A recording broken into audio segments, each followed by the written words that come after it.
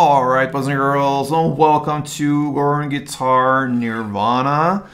You heard about them before, it doesn't matter how old you are, but Nirvana legendary. This song is called Come As You Are, and I remember I heard this one on the MTV Unplugged version first time, and I just, this was groundbreaking for me. And from that point, I just love uh, these songs come out from them, especially from that album, Nevermind. So, uh, Come As You Are cool, cool song. Let's take a look at this one. We don't use any capo, but we have a special tuning here. We need to drop two strings. So I don't have tutorials on it. I just mention it now. You have to search for it on YouTube or wherever you wanna search for it. But the first string you need to drop is the A string. This, okay? And mm. that needs to match up with the G, okay? So G is the third fret, sorry, third string from bottom up like this. And this A string needs to match up to match with that sound. So it will be darker, you need to turn the knob towards you. Okay, so these two strings match up. The next string we need to drop is the E string, and that will be a drop D tuning. So that needs to match up with the D string, which is the fourth string, counting down and up. So the E needs to match with that. All right. And there you have the tuning rights for handling As You Are. Now let's take a look at the verse play and that's the famous melody.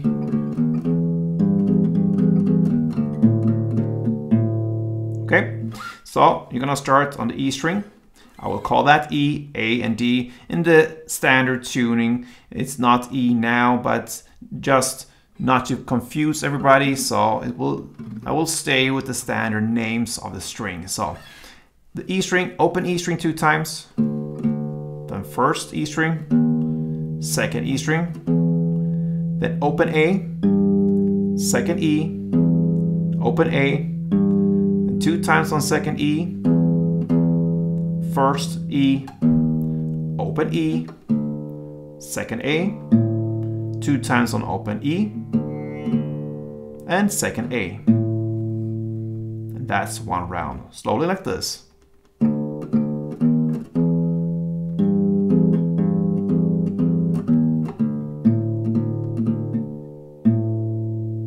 That is one round. All right.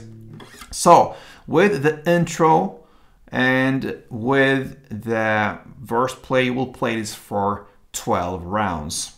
And then we come into the next part, which is the uh, which is the chorus, and we can also bring in the bridge part. Now we need to learn grips, chords. I will call in certain names. It will not be uh, that the case there technically, because we have drop strings now. But I will call them names, which will be names that if it would be a standard tuning, they will have these names around that area. All right. So we're gonna look at four different chords now.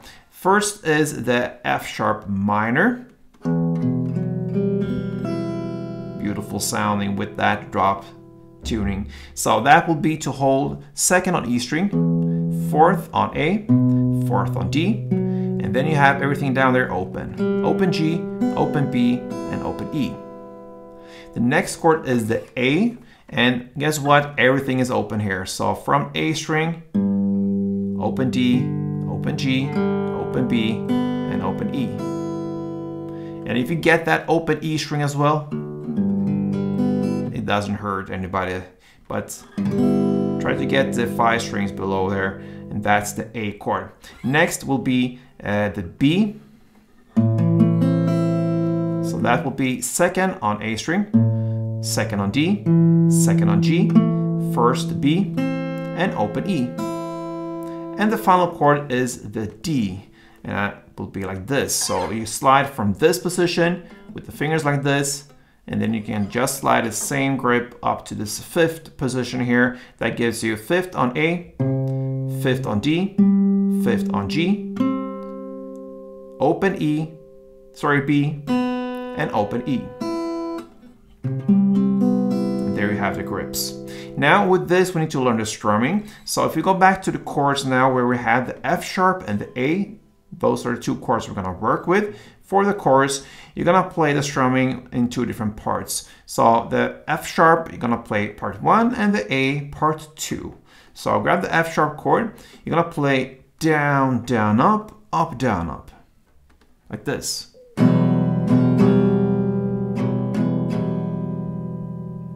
So down, down, up, up, down, up. And for A, it's open. You're gonna play down, up, down, up, up, down, up. So.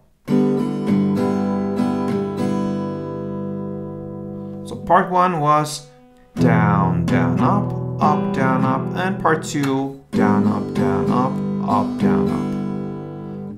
You're gonna play that back and forth for four rounds. Let's do a couple rounds together.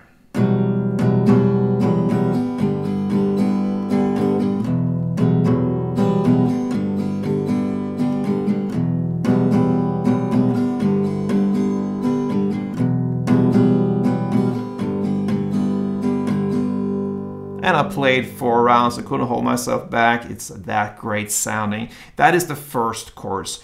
Over now to, uh, let's see, we have the first verse first and then first course. Then we'll go back to the second verse, okay?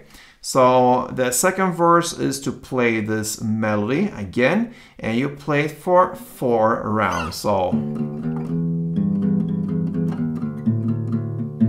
that is the second verse. Play for four rounds and then back to the chorus now. Again, you're gonna play it in the same way, the F sharp and then the A. You play back and forth for four rounds. Then comes the bridge part, and this is where we need to learn or use the next two chords. This happens, uh, I think it's uh, after the second chorus, of course, and it's 1 minute and 39 seconds into the song. Now we're gonna use the this B and then this E. You're gonna use the same principle here when it comes to strumming. You're gonna play B, part one, the down, down, up, up, down, up, and then D, part two, down, up, down, up, and then up, down, up. You're gonna play that back and forth for four rounds. It goes like this.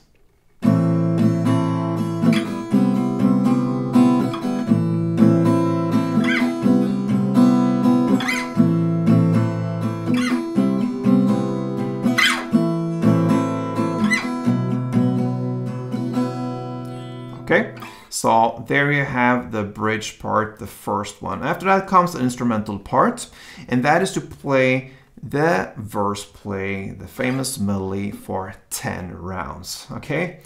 And after these 10 rounds, this instrumental part comes the third chorus. You're gonna play it in the very same way as the previous choruses, four rounds of those chords F sharp and A. After the third chords comes the second bridge part and you play the same chords, same strumming. Instead of playing four rounds now, you play it for six rounds.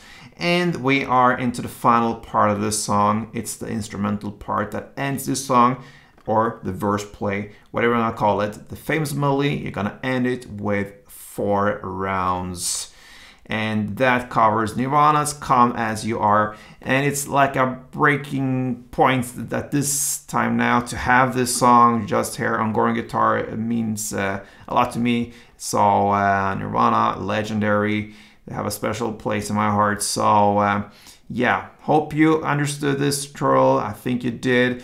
Um, look up the tuning there and really get it right. And from there on it's very easy. Four simple chords and a cool melody you can play everywhere.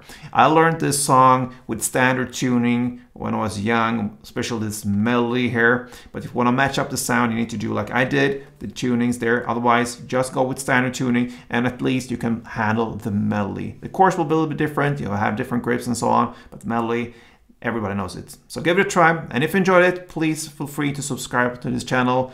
Support me in any way you can. And thank you so much. Play tuned.